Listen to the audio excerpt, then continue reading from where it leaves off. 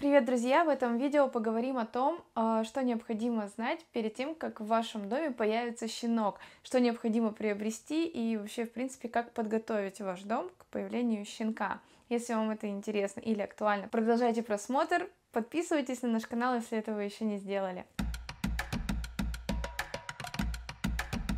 Первым делом вам необходимо ограничить пространство и решить, в каком помещении будет ваш щенок присутствовать большую часть времени. Учитывая тот момент, что дома он будет находиться постоянно до конца карантина, это две недели после второй прививки, плюс к этому времени нужно заложить то время, когда он будет отвыкать от пеленки и похода в туалет в доме э, и привыкать к походам туалет на улице. И это займет какое-то время, поэтому это тоже нужно иметь в виду, когда вы выбираете помещение, в котором будет тусить ваш щенок. Если у вас не так много комнат, то все равно вам нужно выделить какое-то помещение, а, какое-то пространство, в котором будет находиться щенок. И это необходимо как минимум на первые две недели, на период адаптации, потому что щенок попадает в новый дом, к новым людям, и рядом нету ему привычной мамы, его братьев, сестер, и запахи и все остальное для него будет новое, и это, естественно, большой стресс. Плюс более ограниченного пространства еще в том, что приучить к пеленке будет гораздо проще, чем в большом пространстве, необъятном по габаритам щенка. Я бы тут сказала, что не лишним будет приобрести вольер. Это прям очень полезная покупка, одна из моих полезнейших покупок за те два месяца, пока Хани с нами живет. Поверьте, это не пустая трата денег, и это действительно облегчит вам жизнь, особенно в те моменты, когда вам нужно выйти из дома в магазин или еще куда-то, или на работу, допустим, даже, и быть более спокойным, что щенок себе не навредит, что он не разрушит ваш дом и не сходит в туалет э, где-то в другом месте и не на пеленку, и, в общем, не растопчет это все. В случае с вольером огромным плюсом для вашего пола станет даже небольшой кусок простого линолеума. И это даже не столько касается аварий по поводу туалета, сколько привычек вашего щенка, вы никогда не знаете, какими они будут. Вот, например, Хани очень сильно любил мочить лапы в миске с водой. Естественно, разбрызгивать и выливать всю эту воду, потом плюхаться. Мы поняли, что пол так долго не протянет, если у вас инженерная доска или паркет, то обязательно запаситесь кусочком линолеума чуть большего по размеру, чем ваш вольер. Далее необходимо сделать ваш дом безопасным для щенка. Не только ту комнату, в которой он будет тусить, но и, в принципе, всю квартиру. Начиная с хранения бытовой химии. Нужно пересмотреть зоны хранения таким образом, чтобы щенок и даже в более взрослом возрасте не смог добраться до банок с хлоркой или еще чего. Ему не должны попадаться всякие губки, тряпки, перчатки. Думаю, вы прекрасно это понимаете. Спрячьте все провода, которые находятся на видимом месте, либо как-то их закройте, потому что щенки очень любят грызть провода, они в принципе любят грызть все, что попадается, особенно первое время. Если в доме также есть маленький ребенок, игрушки все спрятать у вас точно не получится. В этом случае лучше разграничить и дать понять границы собаки и дать понять границы ребенку. То есть собаку мы не впускаем в детскую комнату, прям запрещаем ей туда заходить с помощью поводка, поводка или еще как-то. А ребенку мы объясняем, что игрушки должны находиться только в этой комнате и выносить их никуда нельзя, иначе собачка может пострадать. Потому что если собачка съест маленький кусочек какой-то игрушки или если он разорвет мягкую игрушку, он может съесть этот наполнитель, то он обязательно будет чувствовать дискомфорт, и это может навредить его здоровью. После того, когда вы сделали ваш дом максимально безопасным, насколько это возможно, необходимо позаботиться о личных вещах для вашего щенка. Это будут миски. Миски, кстати, если у вас собака крупной породы, то выбирайте те, которые можно регулировать по высоте. Их должно быть обязательно две для еды и для воды, и никогда не путайте. Для воды миска должна быть всегда с водой, а еда в миске должна находиться только в тот момент, когда непосредственно идет кормление собаки, не более 15 минут. Лежанка. А, по поводу лежанки очень много разных мнений. Кто-то считает то, что лежанка абсолютно не нужна, и это пустая трата денег, так как собака сама выберет место, где ей спать. Но, честно говоря, я не очень с этим согласна, так как вы все-таки в доме хозяина, не собака, и вы определяете, где и что и как, и все должно зависеть от вас. Как вы свою собаку научите, так и будет. И к, и к лежанке приучить совершенно несложно. По поводу выбора лежанки скажу следующее.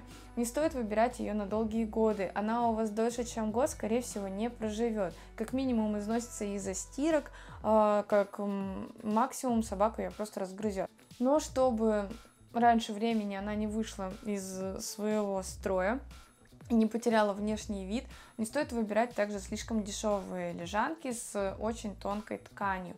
Таких очень много продается, и ценник у них не сильно разнится от тех, у которых ткань гораздо плотнее. Я бы посоветовала выбирать более гладкую ткань, которой шерсть липнет меньше.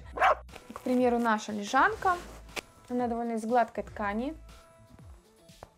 Подушка у нее, как и у всех остальных лежанок, э, преимущественно съемная, двусторонняя. Кстати, моему псу почему-то нравится именно вот эта часть, э, вот эта сторона, и он ее постоянно переворачивает, хотя э, она довольно такая, к ней шерсть липнет, короче. Далее вам необходимо приобрести игрушки. Игрушек много не бывает. Игрушки нужны всегда, и это действительно очень помогает занять чем-то щенка и отвлечь его от, э, например, в период воспитания от мебели. Также вам необходимо завести какую-то супер уникальную, крутую, замечательную игрушку, которая будет выдаваться щенку тогда, когда вы куда-то уходите. Э, конечно, преимущественно он будет спать все время, но все же, если вдруг у него появится желание что-то пожевать, то пусть это лучше будет супер игрушка, чем диван, например, или какая-то другая мебель. Также вам необходимо решить и определиться, чем вы будете в дальнейшем кормить своего щенка. Это будет натуральное питание или это будет э, корм. Если вы выбираете все-таки корм, то не лишним будет приобрести контейнер, в котором вы будете его хранить, чтобы корм не потерял свой запах и вкус. И если ваш заводчик кормил щенка натуральным питанием, а вы решили корм, то не стоит его переводить сразу на корм. Как минимум две недели период адаптации щенок должен питаться так же, как питался у заводчика. И только потом вы переводите его на корм. Также просто необходимо узнать, как дрессировать, как воспитывать щенка с самого первого момента вашей встречи и его попадание в ваш дом. И в этом пункте еще отнесу также приобретение ошейника.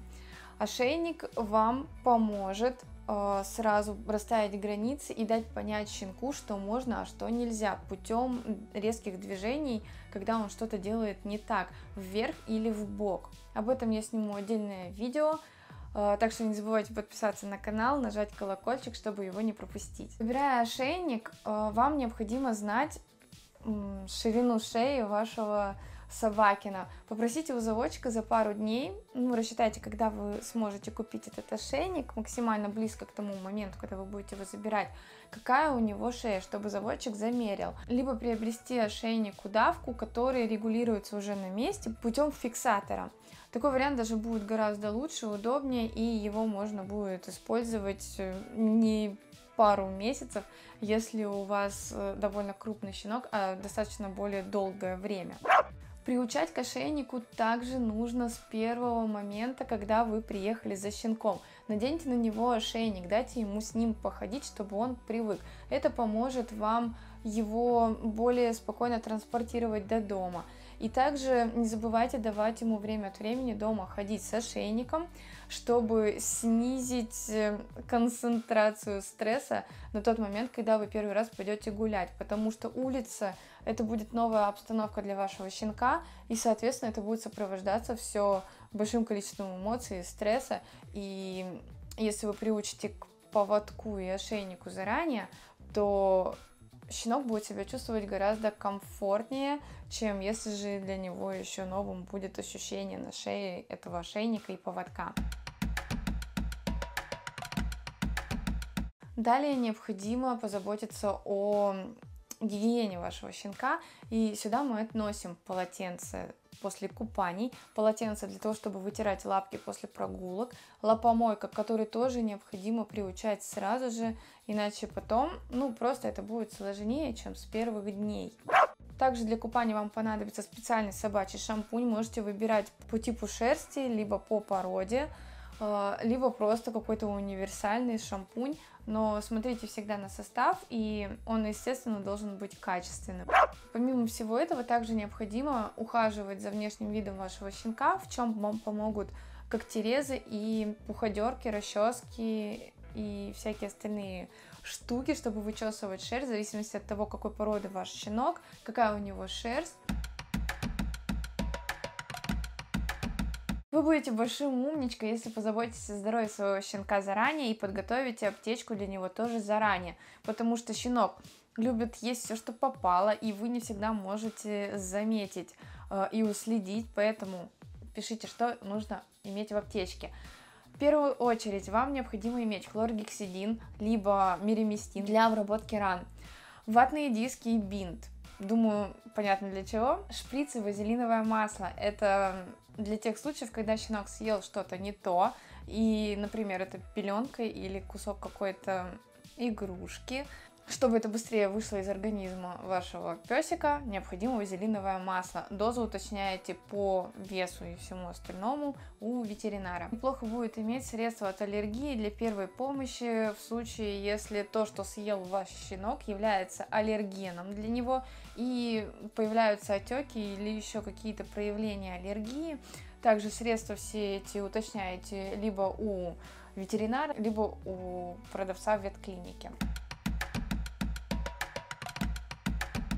Самое необходимое я перечислила, и, конечно же, список корректируется в зависимости от ваших потребностей и от породы вашей собаки. Надеюсь, это видео было полезным для вас. Ставьте лайк, с вами была Марина, это канал Хани. Не забывайте подписаться, чтобы увидеть еще больше полезных видео.